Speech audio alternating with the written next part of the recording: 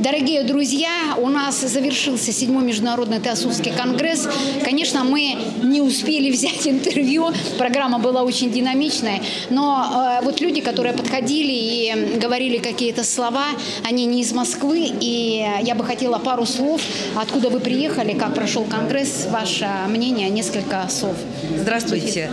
Я приехала сюда из Воронежа, но и не в этом городе я проживаю. Имела счастье пожить в таких городах, как Смоленск, Севастополь, Калининград.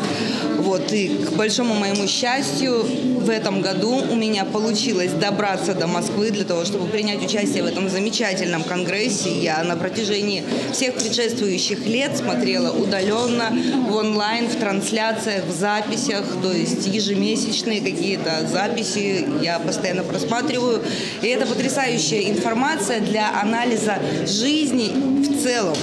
То есть это затрагивает ряд и спектр областей, в том числе точные науки, да, которые у нас ежегодно трансмутируются и совершенствуются. И все это объемлющая такая история, которая основной аспект затрагивает философии, религии, синтеза любви и все-таки воплощение в реальности творчества.